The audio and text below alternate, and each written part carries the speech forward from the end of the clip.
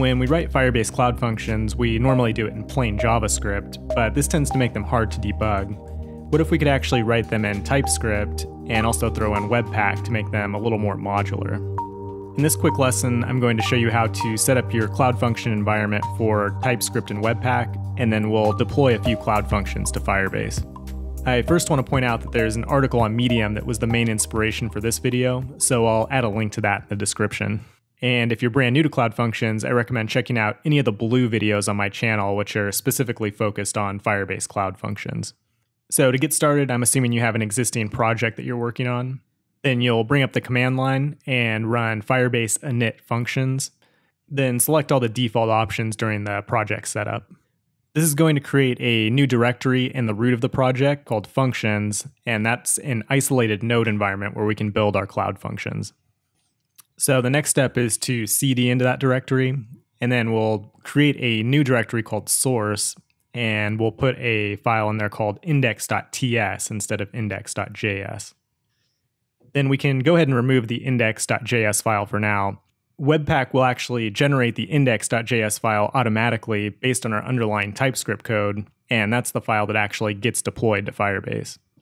Now let's open up the package.json file then we can install TypeScript and Webpack, and we'll specify them only for the development environment. So your final node environment should look something like this. Then we can add a tsconfig file. Nothing really special here. You can go with the default options and customize it any way you want. Then the last step is to create the Webpack config. This will tell Webpack how to compile our TypeScript to a single index.js file that can be deployed to Firebase. Check out the link in the description for more detail on this code. So now we can actually start building cloud functions. We can do this by creating directories inside the source directory based on the concerns that we want to separate. In this example, I'm separating my email cloud functions from my images cloud functions. So now we can start writing cloud functions just like we normally would. The only difference is we can use TypeScript and we also use the Webpack import syntax. If you've developed Angular apps before, this should look very familiar because it's the exact approach used by the Angular CLI. In this example, I just created a couple of cloud functions that don't do anything named update image and resize image. And just for this example, we'll go ahead and add one more useless cloud function in the email directory.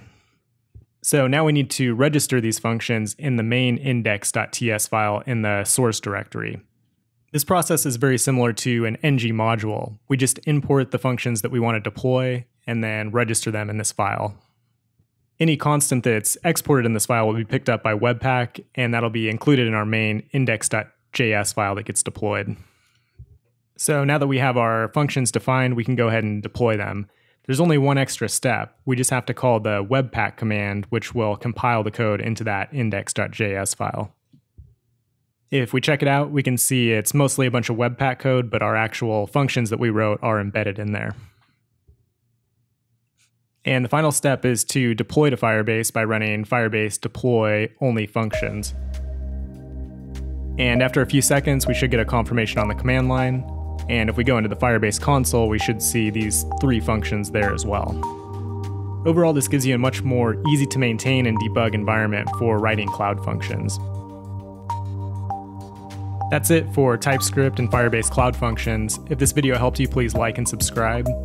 And if you want help building your own custom cloud functions, consider becoming a pro member at angularfirebase.com. Thanks for watching, and I'll see you soon.